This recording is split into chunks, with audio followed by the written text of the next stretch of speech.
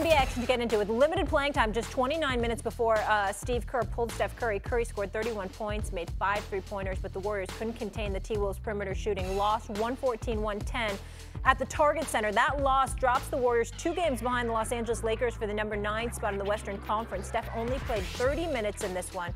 Kerr gave his reasons after. Take a listen. We've put the burden of this franchise on his shoulders for 15 years. Um, we can't expect him to play 35 minutes. We got five games in seven days on this road trip. So um, if you want to say that him playing 30 minutes instead of 32 is the difference in the win and the loss, I, I totally disagree with that. Every game matters. You know, we're inching closer to the other end of the standings that we never thought we'd be in. So nobody's gonna wave the white flag and say, you know, you're you're mailing it in. And if that means playing more minutes, then I'll be ready to do that. Hmm. All right, Shannon, where where are you on this one? Do you agree with Kerr on limiting Steph's minutes? Hell no.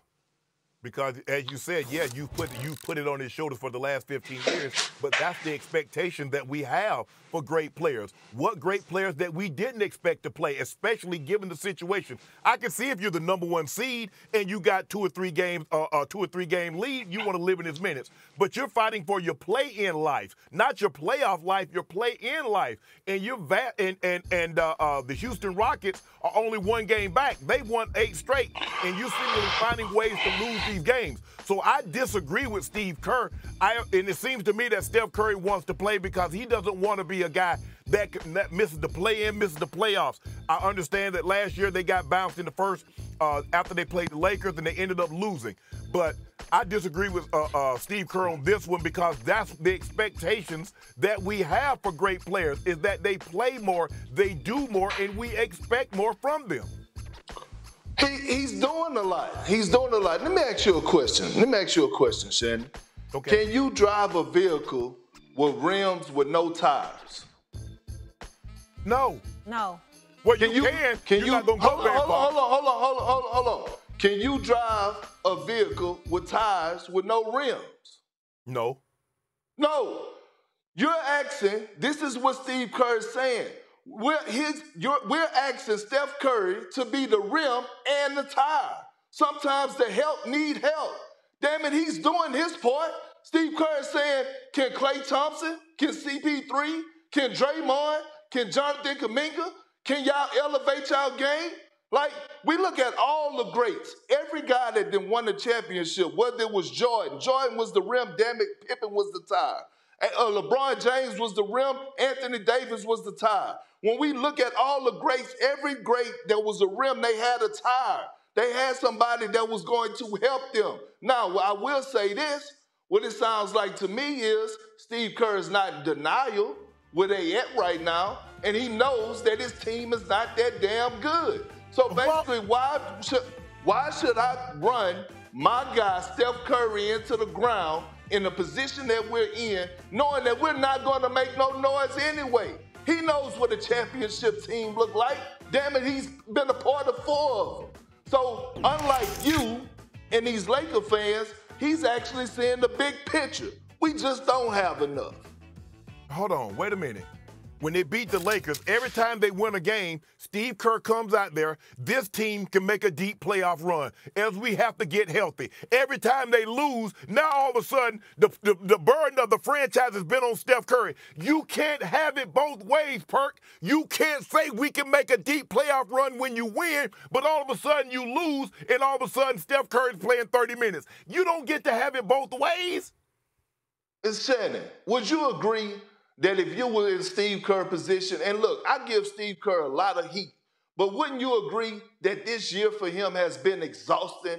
Having, having to deal with Draymond Green and everything that's been going on with him, his suspensions, you know, him being away from the team, dealing with Klay Thompson not being the best version of Klay, having to, to put him, move him to the bench and have him come off the bench, having to trust into a young fellow like Jonathan Kuminga, who could come off as being a bit selfish at times with his shot selection, but you don't want to pull a card from him because you want to keep his confidence high.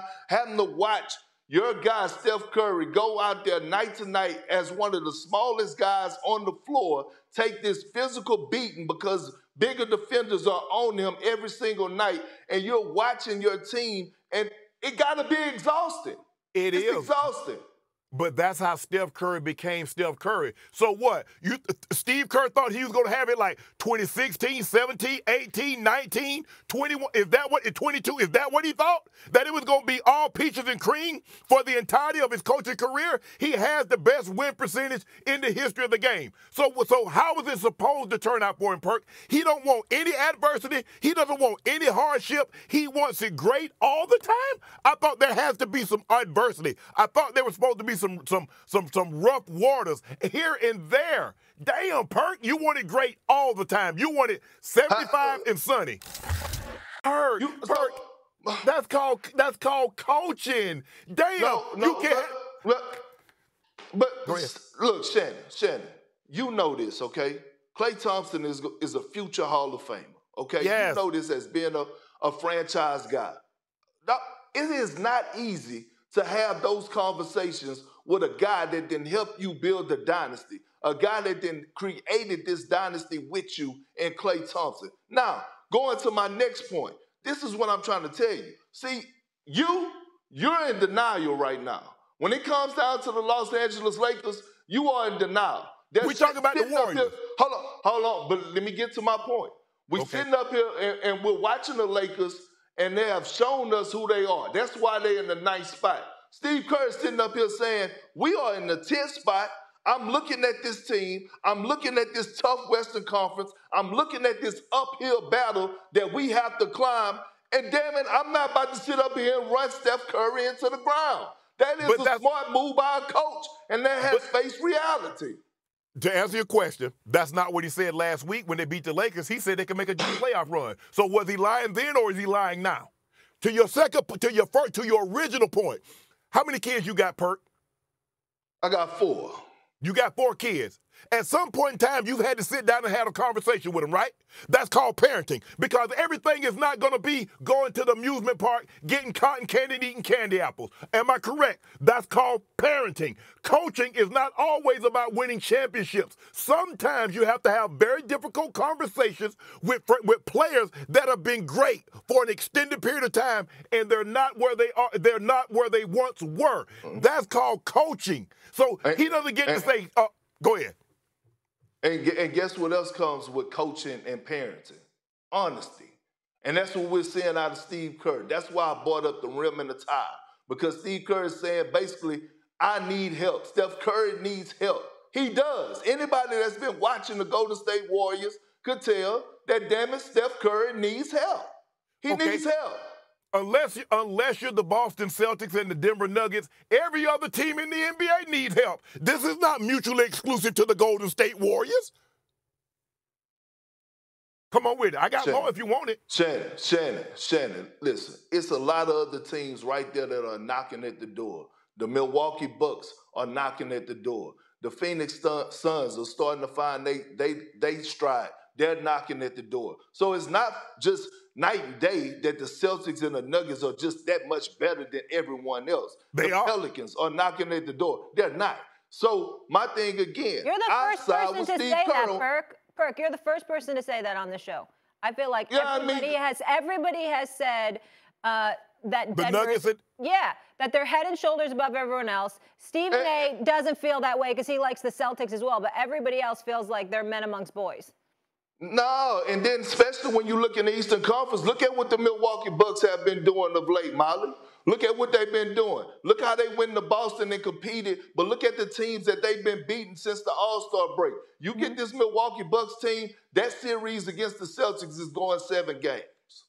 But I'm saying people are not saying that the Celtics need anything. You keep saying that the that uh, uh, Golden State needs something. Every team needs something 10th unless you spot. All right, we gotta go. They're we in gotta go. 10th spot. To be continued. Wanna try to boast at what I look like. Like, Think I'm gonna try to wear, I pull up long range. Jimmy with the heat, I'm on fire. It's NBA on the list,